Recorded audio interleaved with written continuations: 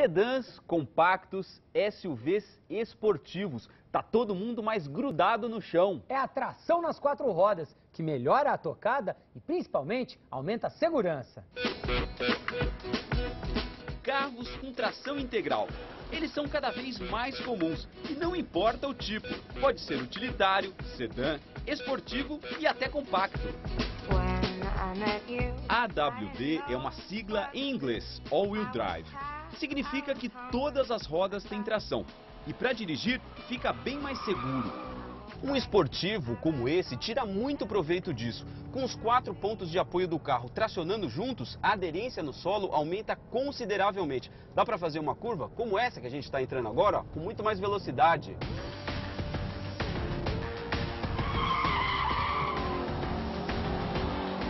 O Audi RS5 nas mãos, a gente se impressiona.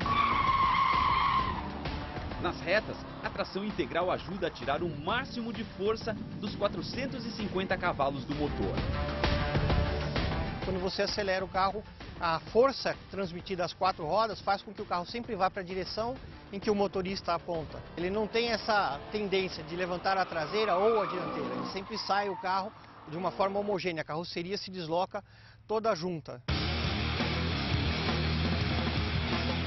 Tração integral também é uma das atrações do Empresa.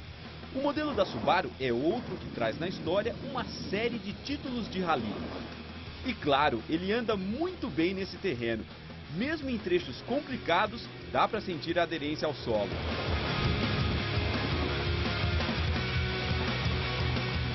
Apesar da chuva, eu estou guiando no asfalto, o piso é muito bom e a estrada é reta. E mesmo assim, a tração integral está me ajudando.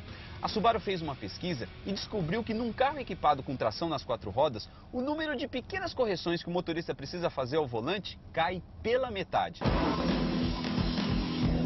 De um modelo médio para um compacto, o Suzuki SX4 tem o AWD, porém é possível escolher o tipo de tração.